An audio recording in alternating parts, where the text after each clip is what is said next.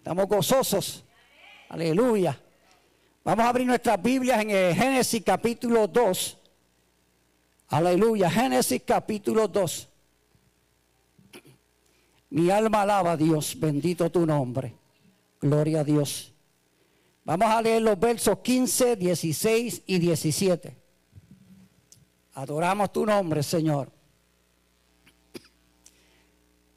Gloria a Dios. Dicen amén. La palabra del Señor lee así en el nombre del Padre, del Hijo y del Espíritu Santo. Amén. Tomó pues Jehová Dios al hombre y lo puso en el huerto de Edén para que lo labrara y lo guardase. Y mandó Jehová Dios al hombre diciendo, de todo árbol del huerto podrás comer, mas del árbol de la ciencia del bien y del mal no comerás, porque el día que de él comieres, ciertamente morirás. Aleluya, Dios bendiga su palabra. Hermanos, todos los mandamientos de Dios son obviamente para nuestro propio beneficio. Amén. Pero puede que no siempre entendamos las razones. Alabado sea el Señor. El pueblo que confía en Dios le obedecerá porque Dios lo pide, sea que entienda o no el porqué de sus mandamientos. Estamos llamados a obedecer, porque Dios es el Dios perfecto. Él da mandamientos no por capricho. Él da mandamientos porque es beneficio para el hombre. Alabado sea el Señor. Vivir con las consecuencias de nuestras decisiones nos enseña a pensar y elegir con más cuidado. Tenemos la palabra, hermanos, la palabra es clara. Nos corresponde a nosotros obedecer esa palabra, gloria a Dios. Aleluya. Mira, hermano, Job perdió todo y descubrió que Jesús era suficiente. Sin embargo, Salomón lo tuvo todo y descubrió que nada le pudo satisfacer. Los hijos de Elí se contaminaron aún estando alrededor de sacerdotes.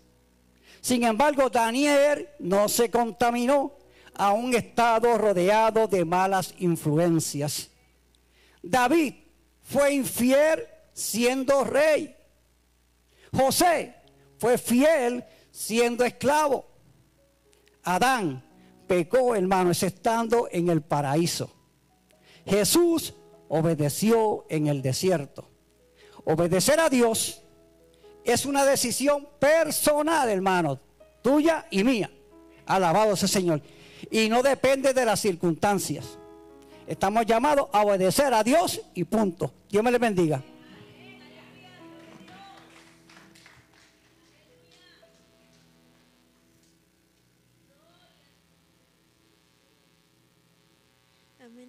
vamos a alabar a nuestro Dios y nuestro Salvador, porque sin Él no estuviéramos aquí, amén. Él nos dio una nueva vida, amén. Lo que estaba en el pasado es en el pasado, amén. Estamos aquí para alabarle y glorificarle.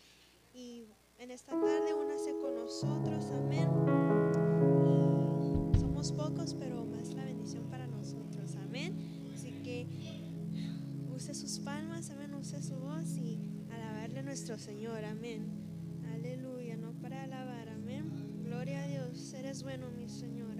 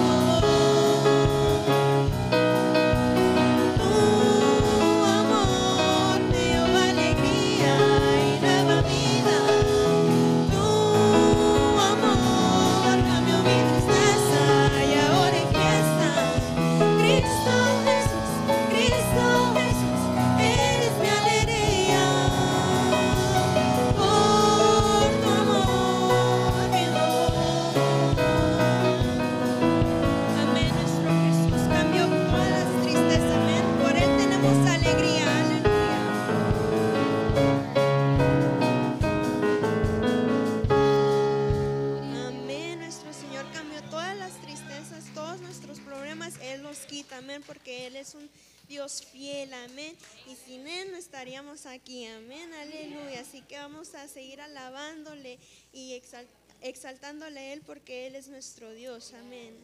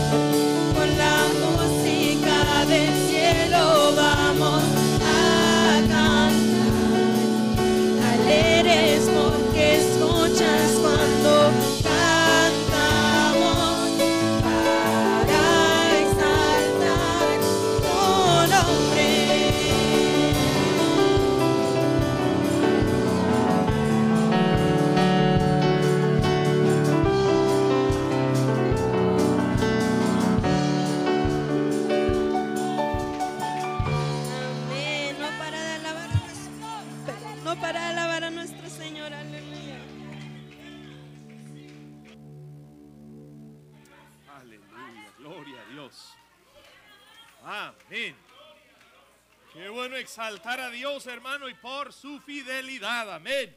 Aleluya, gloria a Dios. Tome un momento y ahí el que está alrededor de usted. Dele la bienvenida, dígale, hermano, muy buenas noches. Qué bueno verle en esta hora en la casa de Dios. Amén. Gloria a Dios.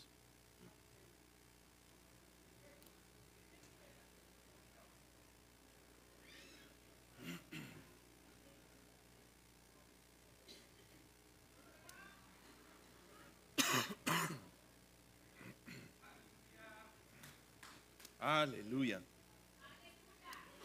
Gloria a Dios. Puede tomar su lugar, hermano, si es tan amable. Dios bendiga a las personas, amén, que nos visitan. A algunos cultos ahí, mire qué bueno que está nuestro hermano Juan aquí con nosotros. Aleluya. Nuestra hermana Luz, también hay unas damas aquí que nos están visitando. Dios les bendiga. Allá en la parte de atrás, nuestro hermano evangelista Alfredo Salas, amén, que pasó por aquí. Qué bueno que nos acompañe en esta noche. Amén.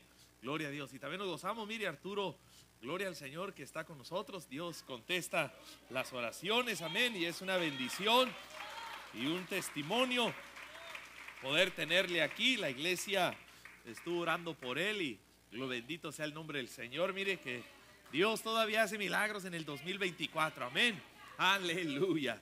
Gloria al Señor. Así que nos quedan tres meses, hermano, antes de que termine el año. Y si usted necesita de Dios, es muy buen tiempo para que usted y yo fortalezcamos nuestra fe siempre, nunca claudiquemos y creamos que Dios es un Dios que sigue haciendo milagros. Amén.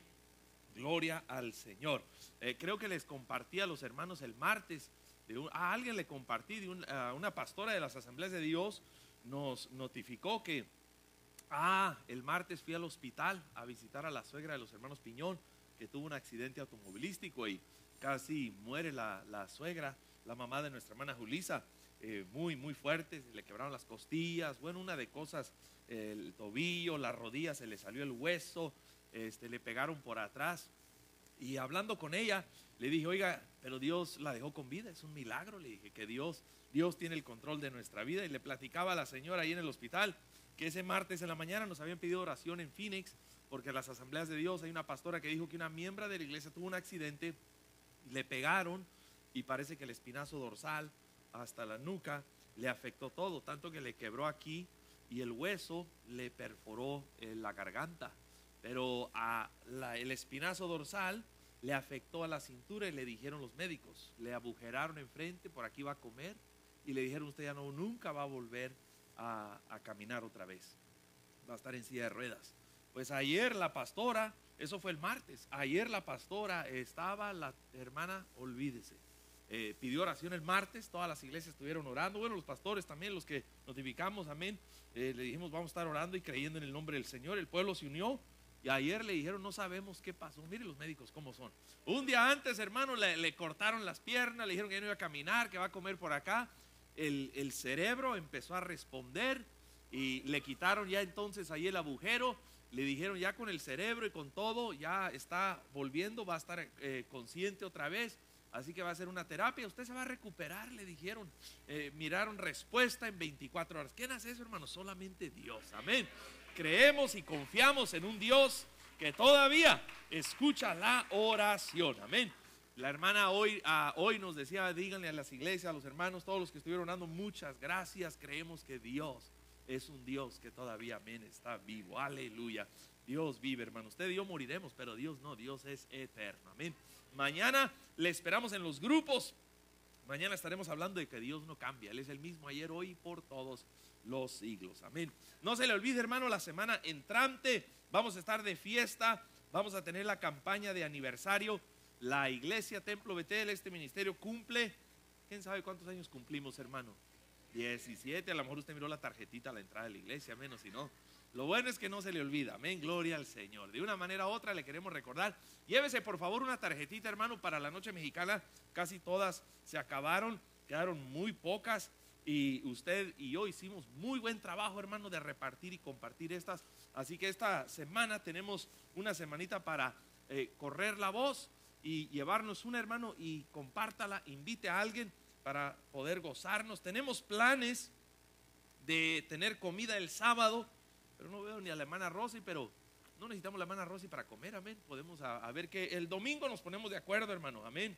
Así sea ensalada o sushi o saber qué vamos a inventarnos por ahí, amén. Pero algo vamos a tener, hermano, para comer el sábado por la noche y festejar y celebrar. Eh, ahí está la información. Jueves y viernes, 7 de la noche, sábado y domingo a las 6 de la tarde. Amén. Así que próxima semana no habrá grupos familiares a raíz de esta actividad y estaremos gozándonos y, amén, recordando las maravillas y lo bueno que Dios ha sido para con nosotros. Amén. Gloria a Dios. Póngase de pies, hermanos.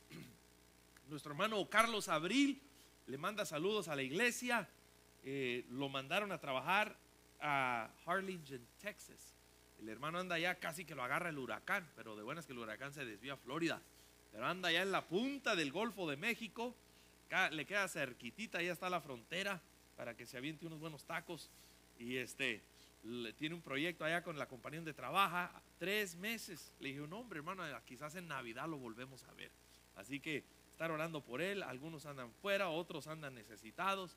Y sabrá Dios los demás a lo mejor en la carne, hermano, a ver en dónde andan. Pero qué bueno que usted y yo estemos en esta noche aquí. Amén.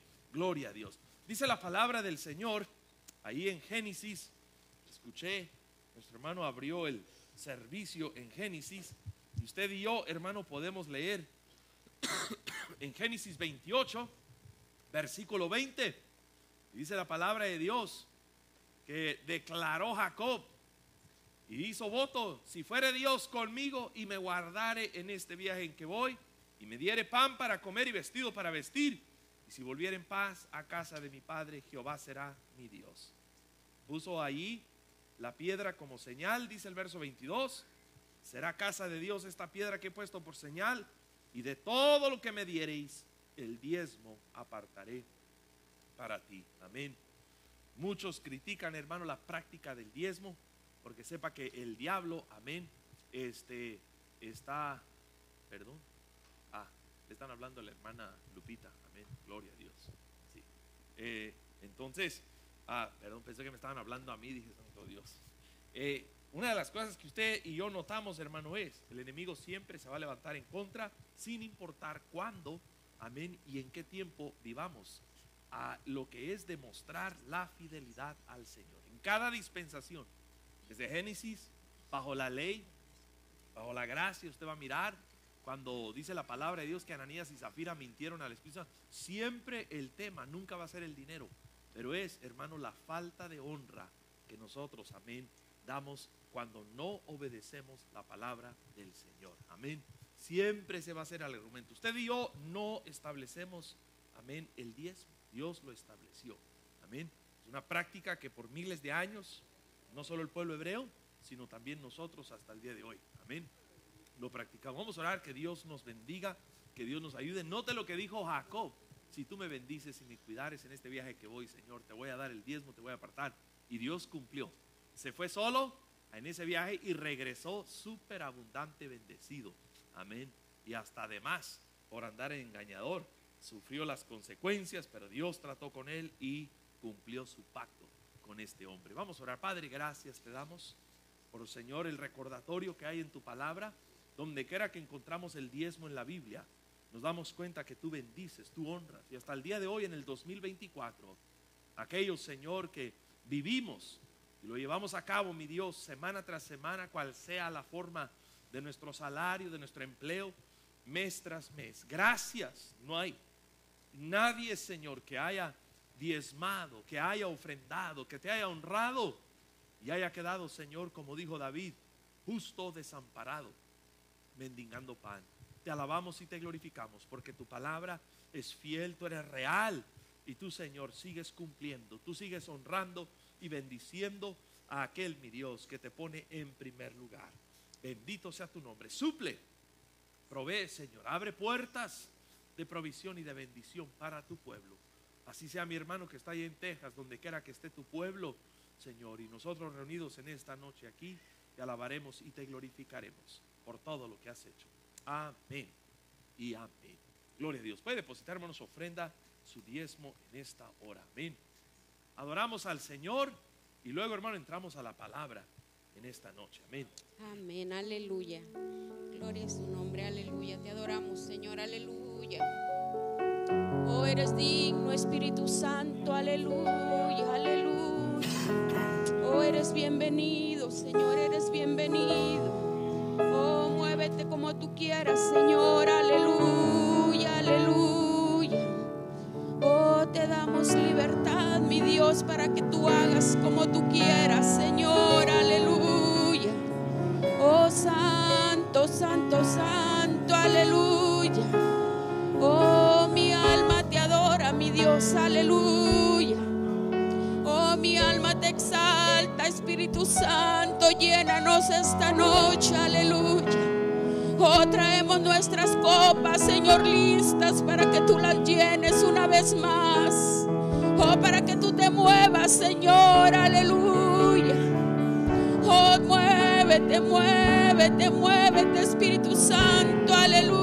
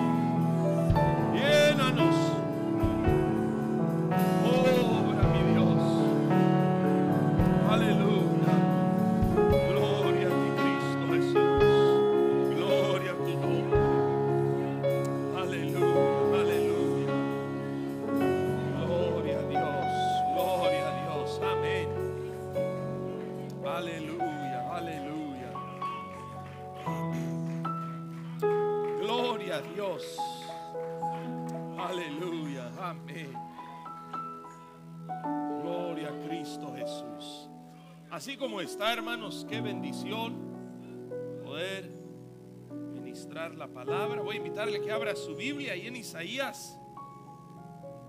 Vamos a pedir el ministerio. Creo que hay ministerio Gap, ministerio de misioneritas. Gloria a Dios. Hay ministerio, no sé si hay varones masculinos, abundan las niñas aquí en la iglesia. Nos mandaron del distrito, los varones, los muchachitos de Royal Rangers van a tener un retiro este, de sobrevivencia, viernes y sábado, la segunda semana de noviembre, allá en el norte de Arizona. Y va los jóvenes que asistan, es de octavo grado para arriba, les van a dar ahí sus reconocimientos de que ya pueden sobrevivir en el monte. Si hay alguien interesado, pues nos deja saber. Aunque nosotros estilo mexicano ya sabe, hermano, cómo es sobrevivir en el monte, nos tiran a la brava a ir a acampar, pero acá en Estados Unidos es más lujo cuando se va a ir a acampar afuera y todo. Pero bueno, también si hay alguien interesado, ahí nos mandaron la información. Amén. Lo estaremos anunciando y poniendo ahí en el boletín. ya encontró Isaías 59. Amén. Vamos al verso 19.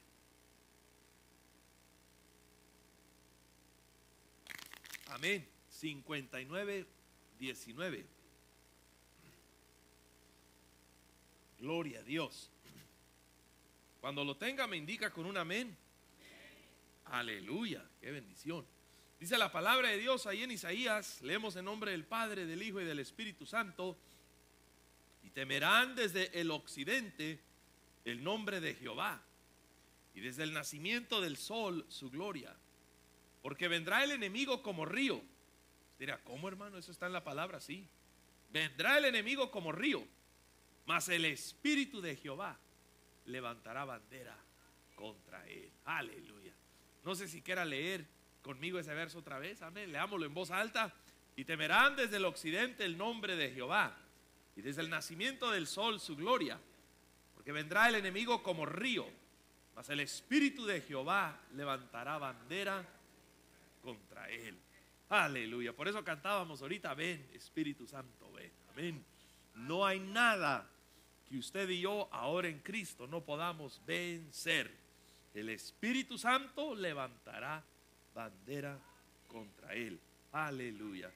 Ah, pensamos que el enemigo se levanta y es una sorpresa, hermano, o ataques. No, no. El Espíritu levanta bandera contra él. Ay, Usted y yo no tenemos que estar envueltos en los líos del enemigo, no. Hay victoria. Levantó bandera. Vamos a orar y que Dios nos ayude. Amén. Padre, gracias por tu palabra en esta noche. Gracias por la promesa que hay en este versículo, mi Dios. La confianza que podemos tener al depositarla en tu presencia, en tu palabra, Señor. En ese poder que se manifiesta, aun cuando el enemigo se levanta, tenemos un ayudador y un consolador. Y el poder del Espíritu Santo, que sabe, Señor, cómo navegar las aguas de ese río que venga, Señor, como el enemigo contra nosotros. Obre Espíritu de Dios. Y podamos nosotros, Señor, ser testigos de esa bandera que se levanta en victoria. Aleluya. Gracias te damos. Tú conoces la necesidad que hay en medio de nosotros, Señor, en la iglesia, en esta nación, en esta sociedad. Y que esa bandera, mi Dios, sea levantada en victoria. Aleluya. En tu nombre. Gloria a Dios. Amén. Y amén. Puede tomar su lugar, hermano, si es tan amable. Amén. Gloria a Dios. Quiero que meditemos, hermano, bajo el tema seguros. La seguridad que hay en la vida del creyente. La seguridad que nos está hablando aquí, apuntándonos en este pasaje, ya al final del capítulo 59. Esta porción de escritura nos está apuntando a la venida del Mesías, de Jesucristo. El pueblo de Israel Isaías explica, el profeta, el error que el pueblo había cometido. El pueblo se levantó en contra de Dios, quejándose y altercando. La agarró contra Dios.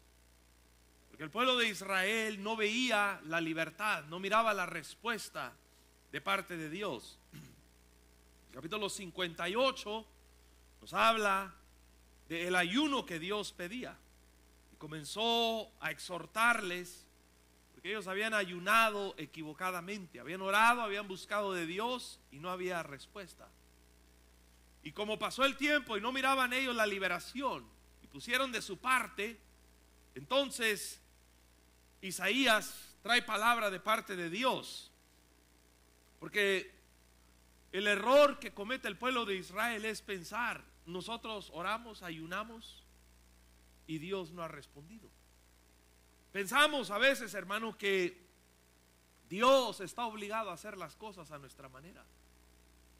Y que Dios tiene que hacer las cosas en el tiempo que nosotros dictamos. El tiempo pasa y nosotros nos desesperamos. Uno de los pecados fuertes que usted ve en el Antiguo Testamento, en la nación de Israel, es la impaciencia. Desde el padre de la fe, Saúl, en el desierto. Pasan los años y usted ve, vez tras vez, se reprueba la nación de Israel, el remanente, en el examen de lo que es esperar en Dios. El pueblo de Israel ahora la agarra contra Dios y culpa a Dios. Que Dios los ha abandonado y el enemigo, naciones de alrededor, se levantaron contra Israel. Isaías había profetizado que vendría, vendrían tiempos difíciles. Pero ya de la mitad en adelante Isaías comienza a hablar de la venida del Mesías. Y habla de que va a haber una libertad y va a haber una respuesta para Israel. Y va a ser temporal para la nación porque recuerde que Israel se perdió por completo cuando Babilonia los conquistó. Pero Isaías habla de que esa victoria y esa respuesta que Dios daría sería temporal. Pero en esa respuesta que Dios le habla al pueblo de Israel, Dios revela a través de Isaías la venida del Mesías. Que el enfoque y la clave es y está en Cristo Jesús. Es ahí donde está la victoria, es ahí donde está el ancla de aquel que está esperanzado en Dios. Y, y si no, hermano, Dios no obra a nuestra manera, jamás, esto está como ejemplo, podemos agarrarla contra Dios. ¿Cuál es el error cuando las cosas no suceden como queremos? Cuando Dios no contesta en el tiempo que esperamos. Lo mismo que le sucedió a Israel. Nos marchamos y hacemos lo nuestro. Es un grave error pensar nosotros que, hermano, Dios se atrasó. Miren lo que dice el versículo 1 Ahí en Isaías 59. No se asuste, pero vamos a ver pausadamente todo el capítulo. Dice ahí Isaías 59, aquí que no se ha cortado la mano de Jehová para salvar. O sea que había entrado en ellos, hermano, en esa desesperación, ya había faltado la fe, pensando que Dios no iba a salvar, ni se ha grabado su oído para oír. El que Dios no responda no quiere decir, hermano, que Dios no esté escuchando.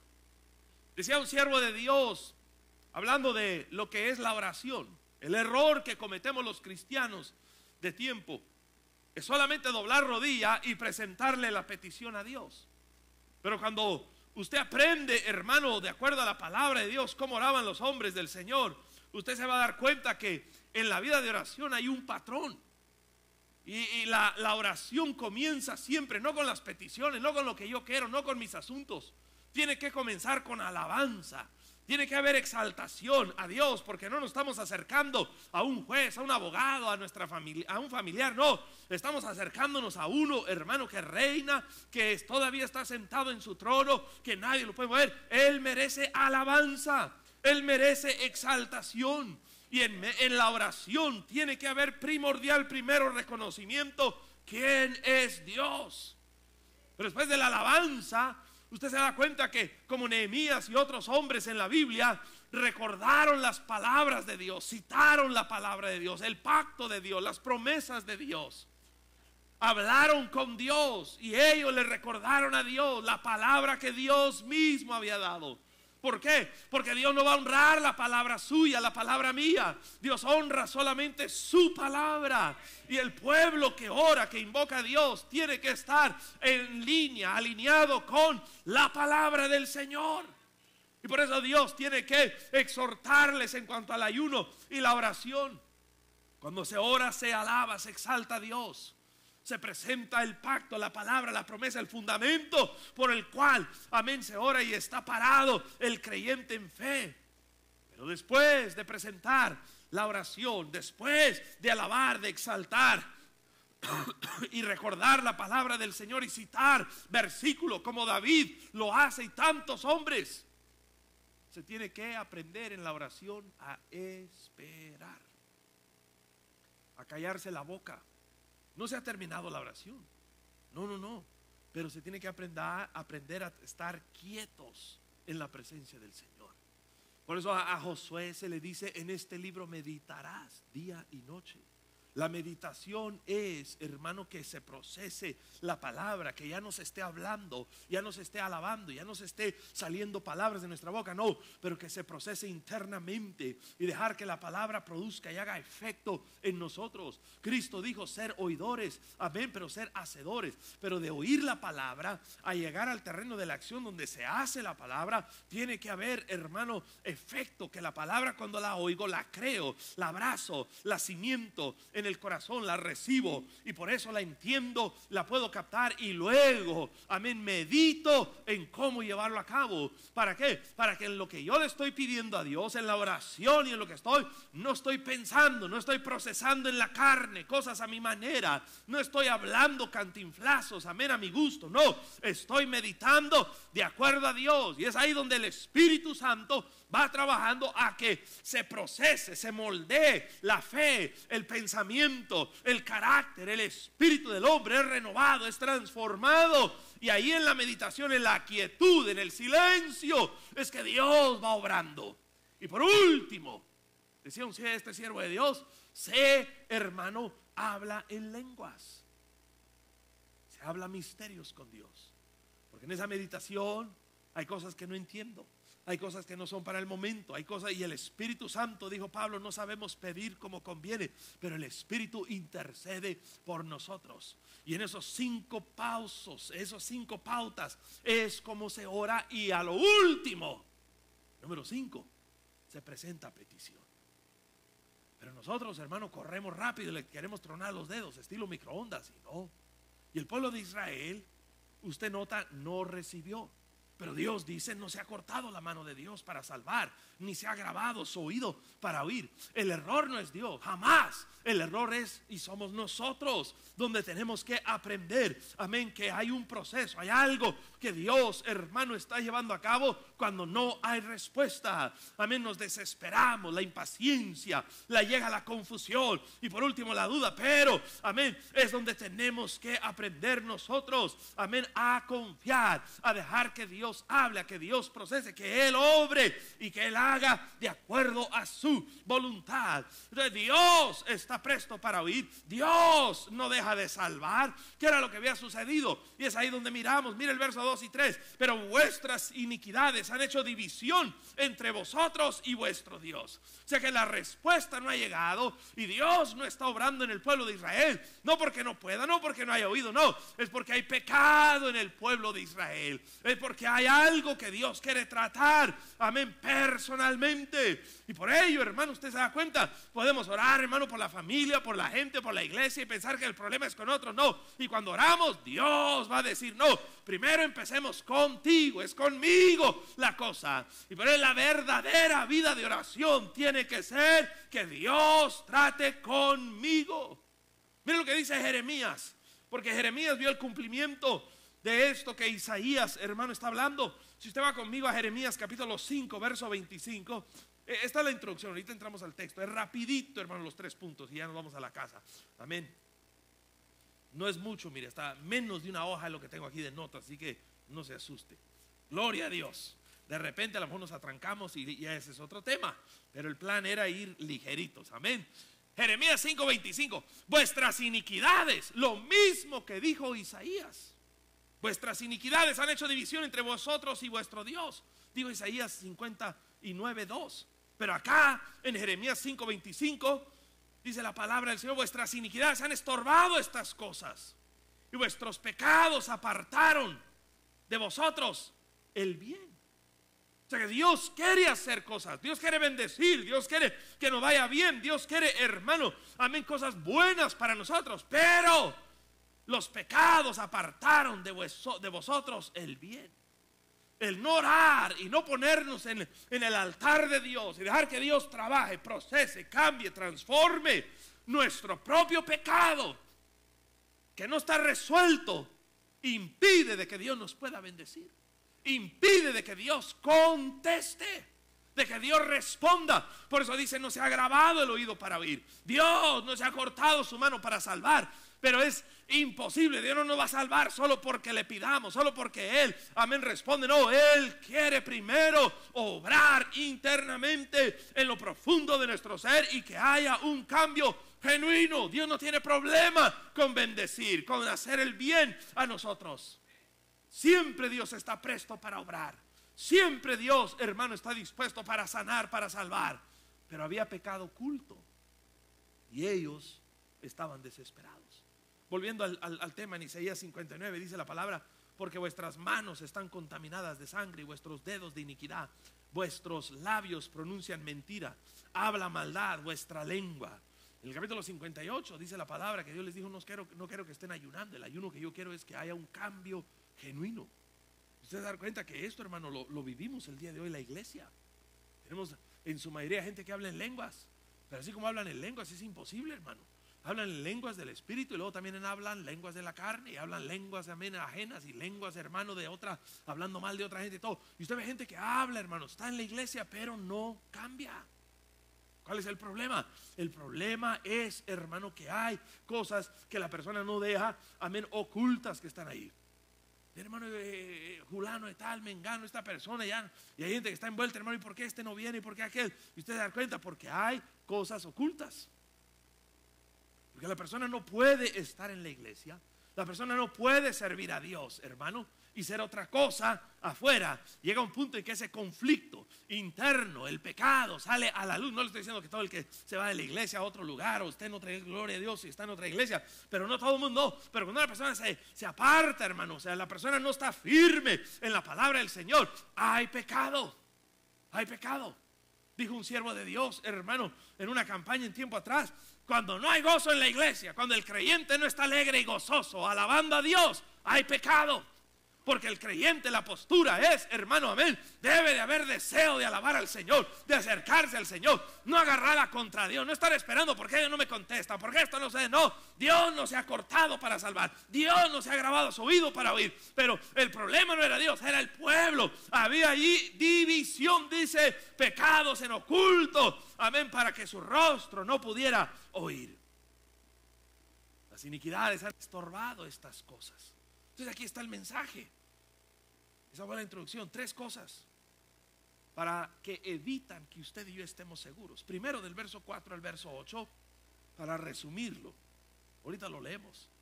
Miramos que hay algunos que se salieron del camino. Eso es lo primero. Gente que conoce de Dios, pero se sale del camino. Dice el verso 4, note la explicación con claridad como la da Isaías. No hay quien clame por la justicia, ni quien juzgue por la verdad. Confían en vanidad y hablan vanidades, conciben maldades y dan a luz iniquidad. Hermano, este es el pueblo de Dios. Esta es la gente que conocía la ley de Dios. Pero una cosa es conocerla y otra cosa es vivirla. Y Dios dice, no están viviendo la palabra. Entonces, por eso el conflicto. Se salieron del camino. Es que nosotros pensamos que el caminar cristiano es venir a la iglesia, cargar Biblia, traer a mis hijos, jóvenes, participar, envolverme, ser miembro. toda esa fachada externa la podemos hacer y no estar en el camino correcto. Note el verso 4, conciben maldades y dan a luz iniquidad. Verso 5, incuban huevos de áspides y tejen telas de arañas.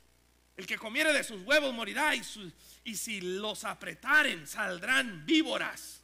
O sea, hay cosas que son dañinas, que la persona está maquinando, se enredan en, en líos, en conflictos, en fricciones. Porque el corazón está lleno de iniquidad. Se supone que dentro del pueblo de Dios haya armonía, unidad, amor. Pero ¿qué es lo que había? Se habían salido del camino y cuando se sale del caminar con Dios, se enreda la persona en cosas, hermano, vanidad, maldades, todo esto. Mira el verso 6. Sus telas no servirán para vestir, ni de sus obras serán cubiertos. Sus obras son obras de iniquidad y obra de rapiña está en sus manos. No, no, no hay resultado, no hay fruto, nada le sale bien. Llega un punto en que todo claudica. Verso 7, sus pies corren al mal, se apresuran para derramar la sangre inocente, sus pensamientos, pensamientos de iniquidad destrucción y quebrantamiento hay en sus caminos. No conocieron camino de paz, no ni hay justicia en sus caminos. Sus veredas son torcidas, cualquiera que por ellas fuere no conocerá paz. Ahí está en el verso 8. Ni justicia en sus caminos. No hay un camino de paz. ¿Cómo usted explica que hay gente, hermano, que conoce a Dios, se autonombra cristiana, pero no, no disfrutan la paz? altercan, hermano. Estén en el grupo, altercan. Están en el ministerio, altercan. Llegan a la iglesia, están altercando. A ver, y, perturbados. No, no hay paz en el caminar que llevan.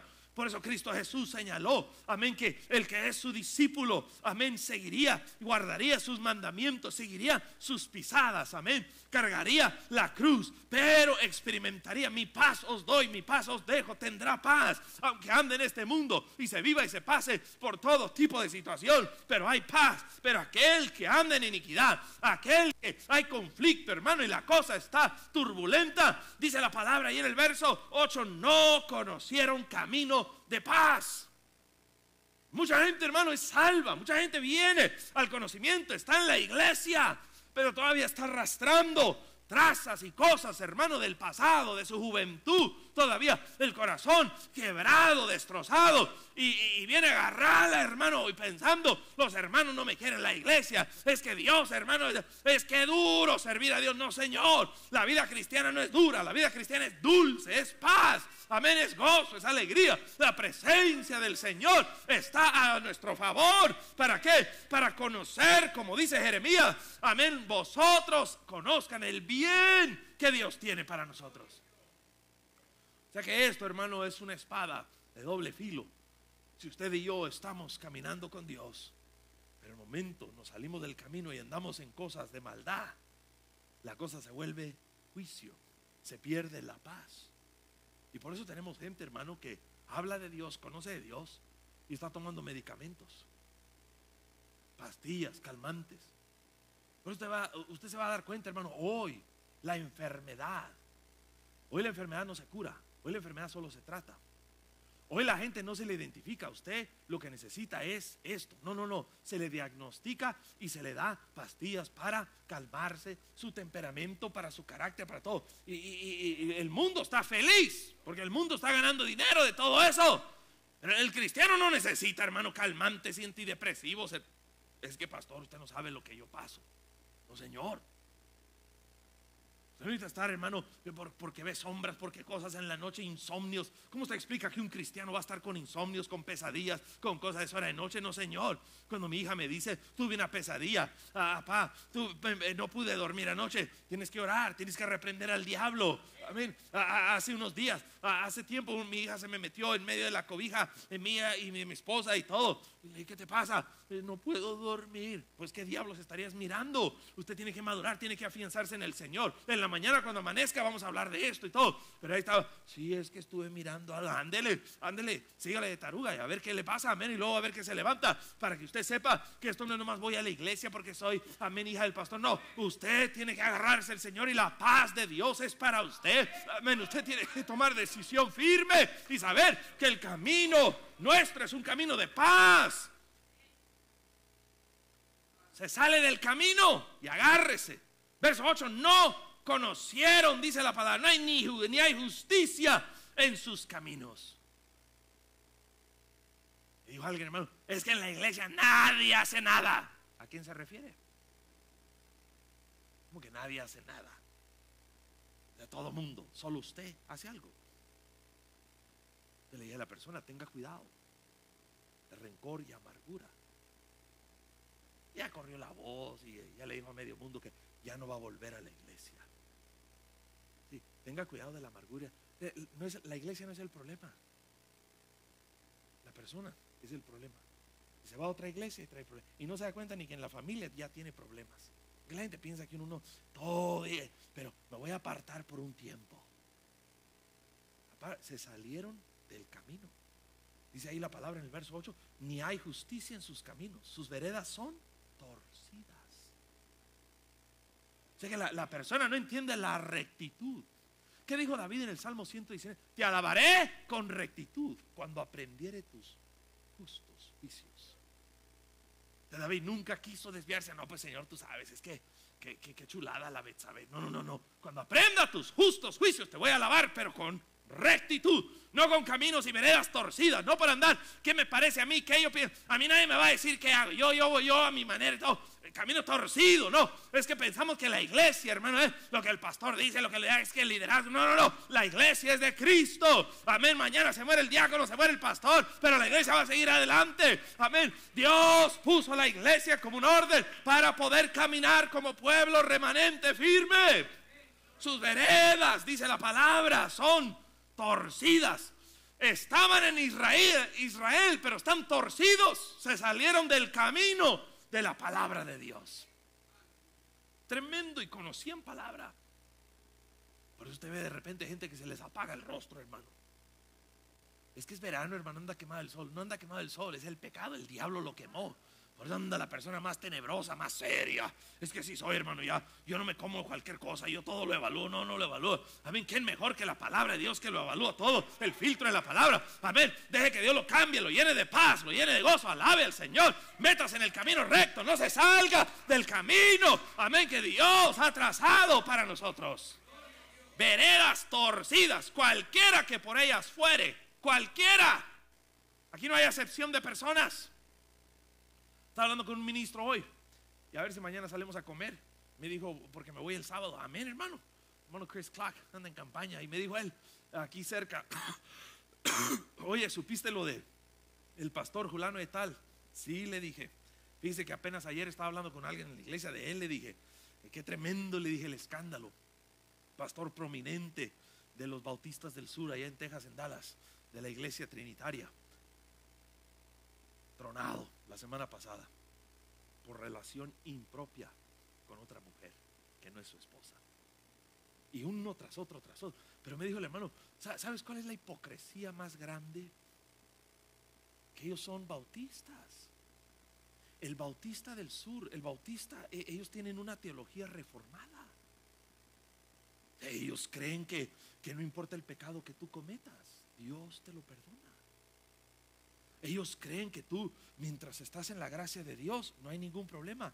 Ni ellos creen eso. Qué hipócritas, porque ahora el John MacArthur renunció y dijo, yo no tengo ninguna amistad con él. Todos los, los bautistas prominentes se apartaron de él.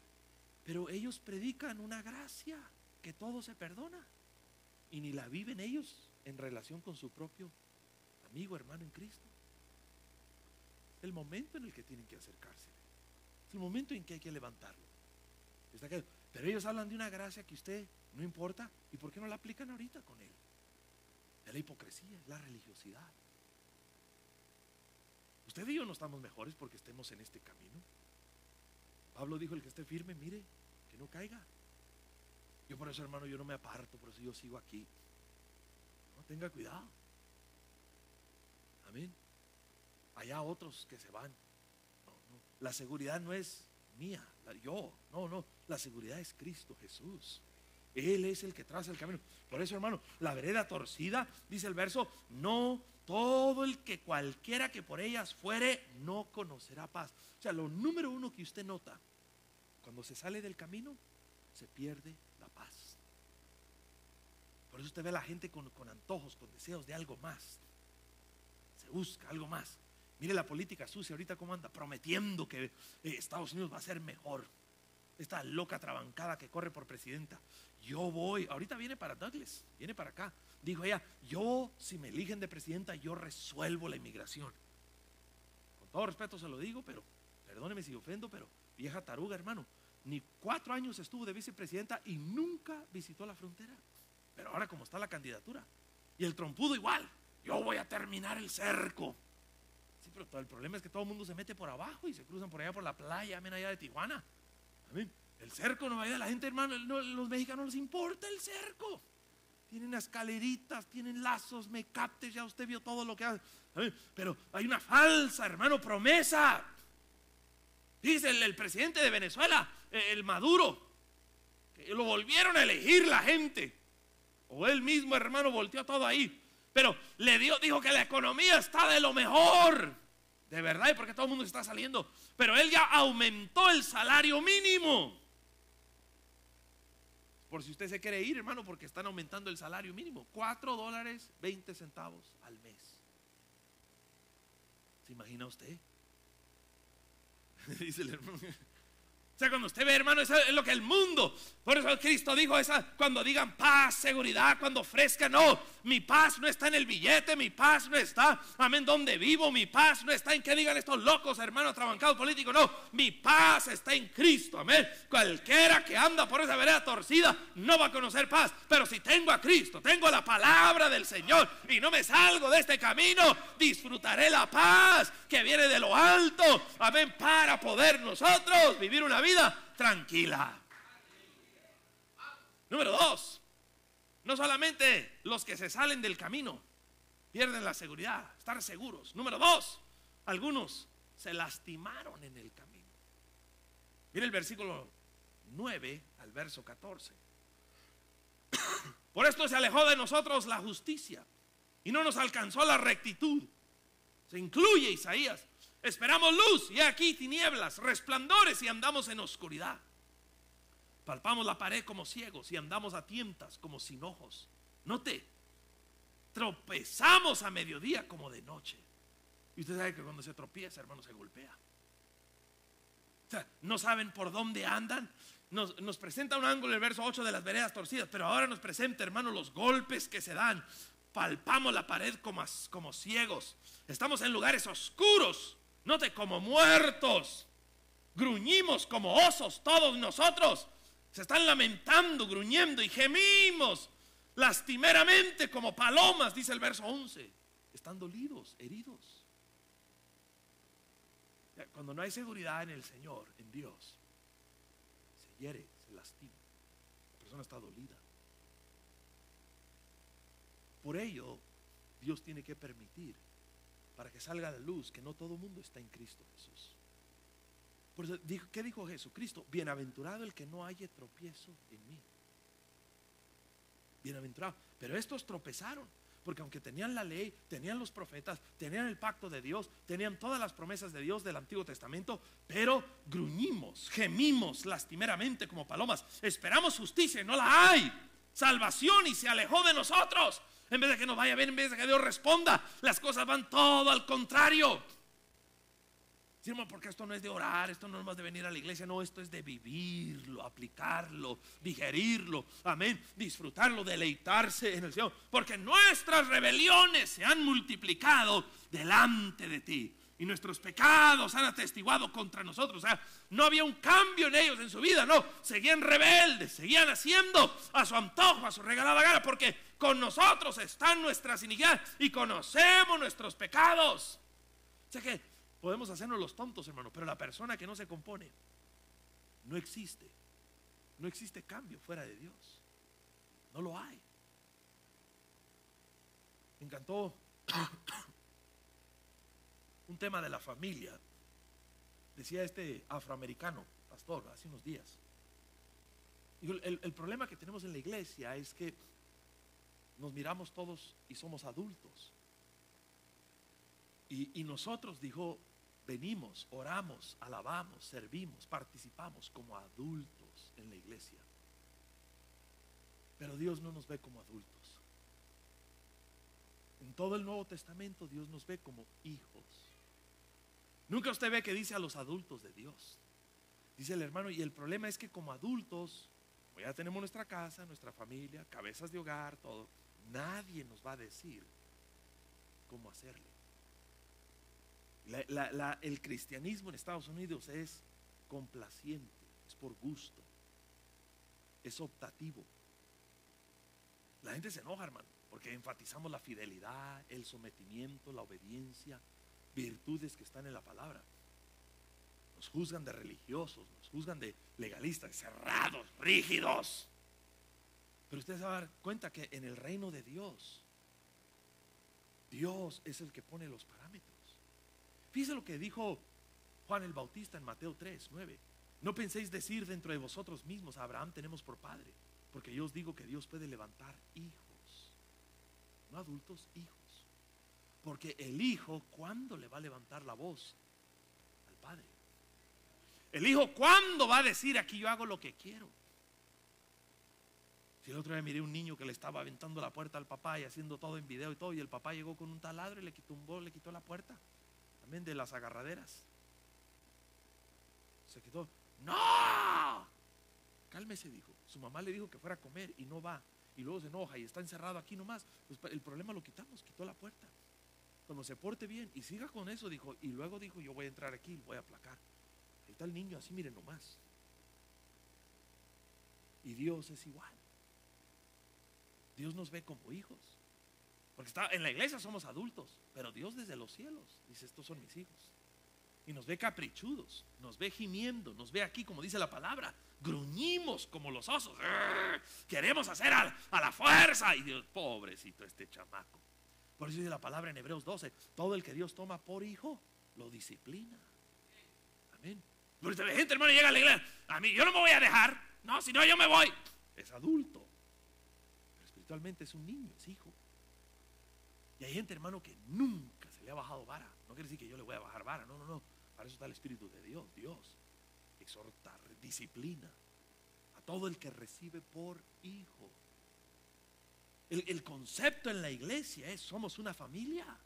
Todos somos hijos. Todos. Aquí no es, hermano, que, amén, el liderazgo, la iglesia, no, no, no, el pastor, no, no, aquí Dios es nuestro Padre Celestial. Somos hijos delante de Él. Miren lo que dijo Cristo en Marcos 10, 23. Entonces Jesús mirando alrededor dijo a los discípulos, cuán difícilmente entrarán en el reino de Dios los que tienen riquezas. Los discípulos se asombraron de sus palabras, pero Jesús respondiendo volvió a decirles, hijos, cuán difícil les es entrar en el reino de Dios a los que confían en las riquezas. Porque Dios nos ve como hijos. Y hay cosas que nos va a tener que remachar, hermano. Nos va a tener que enseñar como de padre a hijos. Pero usted ve gente refunfunea. Son hijos consentidos, mimados, chiflados. Hay gente que está acostumbrada. Hermano, yo, yo me, de- desahogo con, con ciertos ministros. Le decía al hermano Chris Clark, hermano, qué, qué difícil, qué... Hector, lo más difícil es que te llegue gente, dijo. Y él, me dijo así, es que no son ovejas, son becerros, son chivos. Y ya vienen, dijo, amañados. Lo peor que en la iglesia puede llegar es gente de otra iglesia. Lo mejor es gente nueva. Llegan dóciles, son nuevos en el Señor. Pero la gente llega y usted los ve. Usted ve gente, hermano, no aguanta ni un año, dos años en la iglesia. Y no, y quieren a su manera. Los enojan y luego ya, me voy. La mamá de una morenita le estaba diciendo a la morenita, ¿para dónde vas, mija? Ya me voy, tú no eres mi mamá. Agarró ella su bolsita y sus cosas. Y ahí va cargada. Está bien, mija, que te vaya bien. Y la mamá le abrió la puerta. Pásale, mija. ¿No me vas a querer ya? No. Y se fue a la calle la niña. Mocosa, hermano, como de 4 o 5 años de edad. Y la mamá está allá nomás esperando. Dijo, esta pobrecita afuera, dijo, ¿cómo está? Y por fin se oyó el grito y el lloro allá afuera. Ya la mamá regresó, te dije, y ya la disciplinó. Si vas a volver a entrar aquí, dijo, vas a hacer lo que yo digo. Y así estamos nosotros con Dios. queremos a la fuerza ser hermano y, y lo que nosotros decimos, no olvides hermano, usted se muere antes de que usted quiera obligar a Dios a hacer algo así. No, Señor. Menos la iglesia, porque la iglesia aquí no está para agradar a menos una persona, no, no, ni a mí está la iglesia para agradar, no, la iglesia está para agradar a Cristo y a cumplir la voluntad de Él y lo que Él ha dicho. Pero hay gente lastimada de lo que está diciendo, Dios no nos salvó, Dios se alejó de nosotros, Dios no nos conté y Dios los deja. Ahí los dejó. Pero se dieron cuenta, ah caray, las rebeliones nuestras, las iniquidades nuestras. Ahora conocemos nuestros pecados, el predicar. Y mira el verso 13, y prevaricar y mentir contra Jehová. Sí, porque hay gente, hermano, que, que habla en el nombre de Dios y no es Dios. Mienten. Hay gente que anda ministrando. Andaban ministrando unas jovencitas y le dijeron a unas mijas, es que yo te veo que vas a parar en las drogas, vas a parar. Y vino a mí y le dije, mija, ¿y si eso es de Dios? ¿Tú crees que Dios te va a avisar eso? Es por ahora el diablo, mira, usted sígale para adelante, en el nombre del Señor reprenda al diablo y para adelante.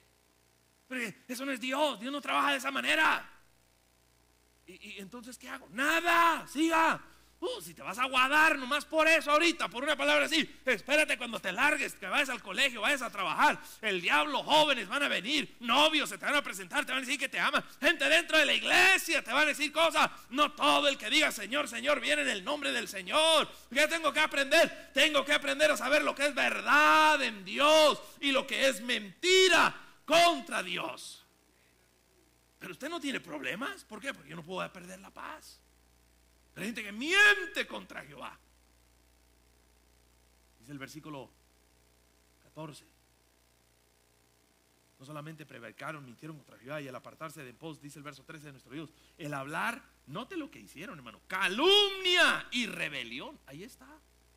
El que está dolido, lastimado, gimiendo, gruñendo, como dice el verso 11, eh, levanta calumnias, rebeldes, concebir y proferir de corazón palabras de mentira. Por eso debe ver, hermano, la persona se sale del camino y porque está lastimada, lastima a otros. ¿Y qué sucedió? En base a ese dolor, la persona calumnia y rebeldes. Y es ahí donde está lo delicado. El derecho se retiró y la justicia se puso lejos, porque la verdad tropezó en la plaza y la equidad no pudo venir. O sea, cuando servimos a Dios, no necesitamos otra cosa más que la equidad que viene de lo alto. ¿Y en qué está basada la equidad? Por un lado hay equidad en la balanza de Dios y por el otro lado justicia. Y el único que pesa esa balanza, porque David lo declaró en los salmos y ahora lo recalca acá Isaías, es Dios. Dios es equitativo. Nosotros no, no tenemos por qué desearle mal a nadie. Nosotros no, no, tenemos por qué andar añadiendo y hablar cosas, hermano, cuando Dios no ha hablado. En la equidad, a su tiempo, amén, se verá. El que anda bien, le va a ir bien. No quiere decir que no va a haber ataque, no se va a levantar problema, no, se levantará lo que sea. Pero cuando se levante el enemigo como río, la bandera, dice el Espíritu de Dios, levantará bandera contra él. ¿Por qué? Porque hay equidad en el Señor. Usted siembra para bien, cosechará para bien. Amén. Pero ¿cómo así, hermano? Que de repente la cosa, no, deje que la gente, hermano, hable, deje que, amén, pase, venga lo que venga. En Cristo Jesús hay una firmeza, hay una victoria, porque el Espíritu de Dios levanta bandera contra toda acechanza que viene, amén, contra esa equidad. Y número tres, ¿por qué no hay seguridad? Hay que estar seguros, porque algunos se salieron del camino, algunos se lastimaron en el camino. Y número tres, algunos se perdieron en el camino. Verso 15 al 18. Y la verdad fue detenida. O sea que Dios detuvo la verdad para que se confunda, porque la persona anda mal. Se confunde. Bueno, el Evangelio no es complicado, la palabra de Dios no es difícil, no. El que se apartó del mal fue puesto en prisión y lo vio Jehová y desagradó a sus ojos porque pereció el derecho. O sea, más bien el que le iba bien lo metieron a la cárcel. Tan perdidos estaban que metieron a los profetas en la cárcel, a los que hablaban de parte de Dios, y a los falsos mensajeros, la gente que andaba totalmente equivocada, a esos si los recibieron. El pueblo de Dios se perdió por completo. Con ti Biblia. Dice el verso 17, 18, como para vindicación. Perdón, 17. Pues de justicia se vistió como de una coraza, como yelmo. Dice la palabra, verso 16, y vio que no había hombre y se maravilló que no hubiera quien se interpusiese. O sea, que Dios está buscando un mediador y no hay quien esté. Todos perdidos, todos. Entonces cuando se pierde la justicia a la vista nuestra, entonces Dios tiene que intervenir. Porque si no hay justicia frente a nosotros, ¿dónde acudimos? ¿En qué nos basamos? Y Dios es el único. Y está revelando que entonces Dios vino y le afirmó su misma justicia. O sea que por más mal que usted vea el mundo como anda, la iglesia, hermano, la gente, Dios tiene una hasta aquí y Dios revela su justicia. El bien vence el mal.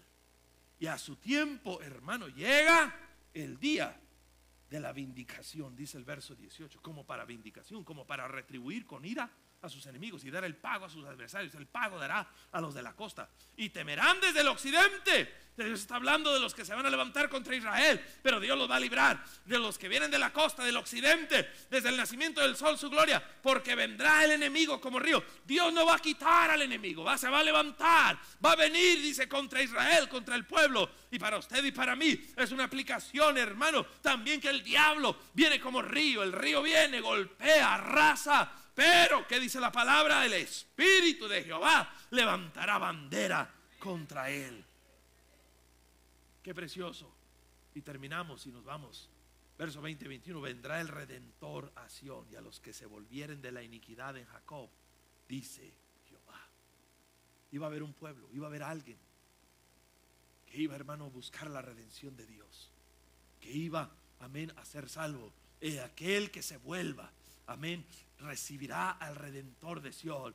Y este será mi pacto con ellos, dijo Jehová, el espíritu mío que está sobre ti, mis palabras que puse en tu boca, no faltarán de tu boca ni de la boca de tus hijos, ni de la boca de los hijos de tus hijos, dijo Jehová, desde ahora y para siempre. El que se vuelva, el que procure, amén, el que se acerque, viene el redentor de Sión, será salvo. No le va a faltar la palabra, va a estar anclado, va a estar seguro, va a estar agarrado de la promesa del Señor. Deje que otra gente, hermano, se pierde, o deje que ande gente lastimada, deje que gente se salga del camino, pero el que se vuelva a Dios va a estar firme, agarrado, amén, alimentado y cimentado en las promesas del Señor.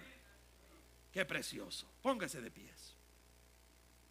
Aleluya, mire, ni vi el reloj. Ah, conviene no ver el reloj, amén. Ay, Señor, mire. Pablo le dijo a la iglesia en Efesios 5:1, sed pues imitadores de Dios como hijos amados. Qué importante que usted y yo tengamos una seguridad. La seguridad no es nada terrenal, nada material. La seguridad no es aquí, lo local, el templo, no. La seguridad es Cristo Jesús. Nuestra seguridad, la mirada tiene que estar fija, clavada en Él. Muestra de que algunos se salen del camino, se pierden, se lastiman. Solo viene a comprobar que no estaban seguros en el Redentor de Sion. Hoy es el día de que si hay algo en su vida, en la mía, en nuestra vida que se ha salido del camino, vuelva otra vez a ubicarse, centrarse en el camino de la rectitud. Si el corazón está lastimado. ¿Y quién no, hermanos? Hay cosas que nos hieren. Hay dardos. Hay luchas. Hay comentarios. Hay voces.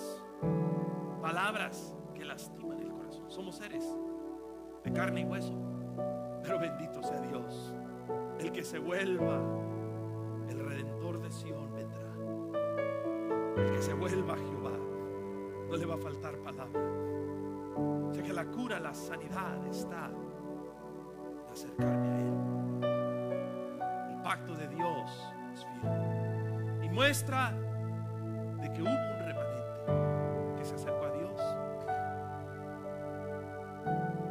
en la Biblia? Un pueblo que aún en el cautiverio, aún en medio de la guerra, de la invasión, aún cuando Jerusalén fue destruido, se mantuvo creyendo. Hay un pueblo que volvió, dice el profeta, llegaron a reconstruir las ruinas de Jerusalén. Dios siempre va a tener alguien que no se salga, que se las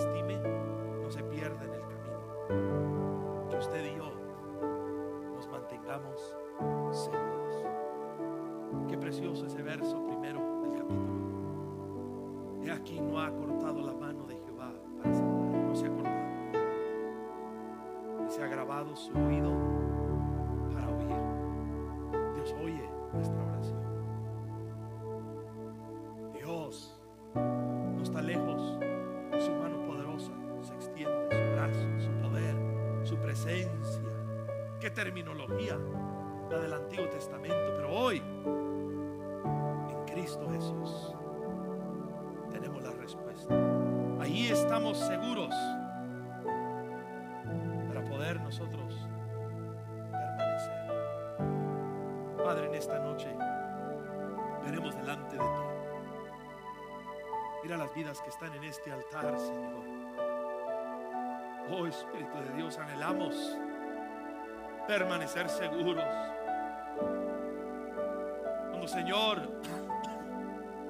miramos, estamos conscientes de algunos que se salen del camino, de algunos, Señor, que se lastimaron en el camino, de algunos que se perdieron. Dice tu palabra, tropezaron, gimieron, no conocieron el camino de paz. Qué triste la condición del pueblo de Israel, que tenía la palabra, tenía el consejo profético, la advertencia. No se lastimaron, se perdieron y se salieron del camino. Perdieron la seguridad. La seguridad no era el ejército de Israel, no era un rey, no eran los muros de Jerusalén. Eras tú, tú mi Dios. Tu palabra, Señor, nos recuerda a nosotros que somos hijos tuyos. Bienaventurados los pacificadores. Dice allá Cristo en el Sermón del Monte. Porque ellos serán llamados hijos de Dios. Ser hijos de Dios. La bendición más gloriosa. La identidad de que pertenecemos. Tenemos un Padre Celestial. Pertenecemos a una familia. Cristo dijo, si no somos como un niño, como esos pequeños, no podemos entrar al reino de los cielos. Está hablando de la humildad, la mansedumbre. De no llegar aquí nosotros con nuestros caprichos. No querer nosotros forjar y hacer y servir a nuestra manera. No, no, no. Doblegarnos, reconocer que en el reino de los cielos, en el cuerpo de Cristo, somos hijos. No podemos agarrar nuestro rumbo. No ganamos ventaja encaprichándonos, no. No se lastime. No gano nada en lastimarme yo. Salirme del camino, no. La, victoria, la bendición está en rendirme. Los que se vuelvan, es claro el versículo 20 que se vuelva ese volverán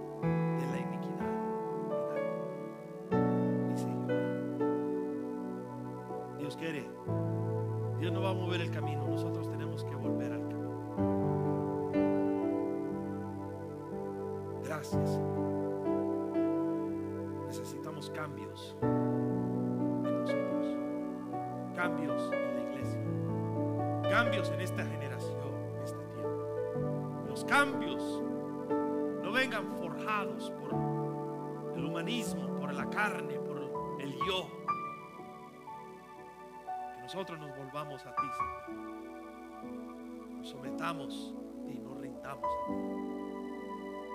Muera la carne, muera el ego, muera el yo. Ahí tendremos la seguridad estará mi pacto con ellos, dice Dios. Mi espíritu que está sobre ti, mis palabras. Ahí está la seguridad. No perder la presencia del Espíritu. No salirnos de esta palabra. No, no. Estamos seguros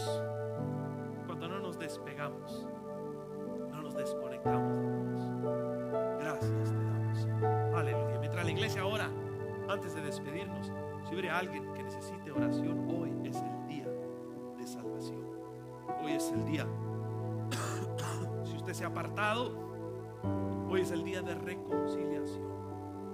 Levante su mano, queremos orar por usted. No hay cosa, hermano, gloriosa. El domingo, qué precioso ver el hijo de nuestro hermano. Levantó la mano y se reconcilió con Dios. El varón que se reconcilió. No hay cosa más gloriosa que volver a Dios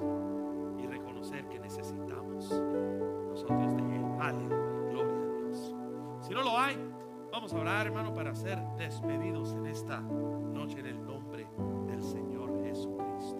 Gloria a Dios. Mañana, no se le olvide, en los hogares, también vamos a estar ahí en los grupos familiares. Y luego,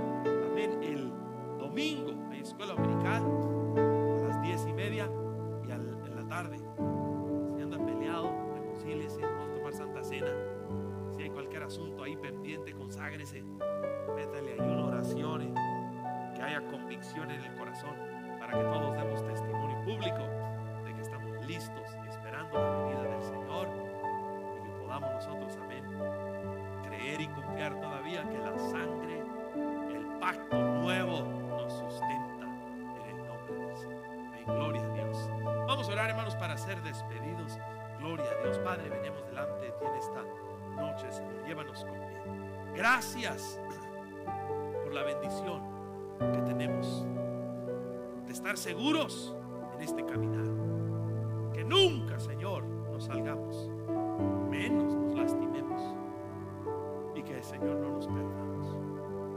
Llévanos con bien, descanso esta noche, reposo, sueño, grato, de recostar nuestro cuerpo en la cama. Y que haya vida, Señor, nueva misericordia mañana. Y llévanos, Señor, bien. Gracias por nuestro hermano Arturo que ha vuelto, Padre. Gracias por esta petición contestada. Fortalécelos. Glorifícate en su corazón, en su mente, Señor. Oh, te alabamos y te glorificamos, mi Dios. Aleluya. Bendito sea tu nombre, Señor. Gloria a Dios. Amén y amén. Gloria a Dios. Dios me le bendiga, hermano. Estamos despedidos. Vaya la bendición del Señor.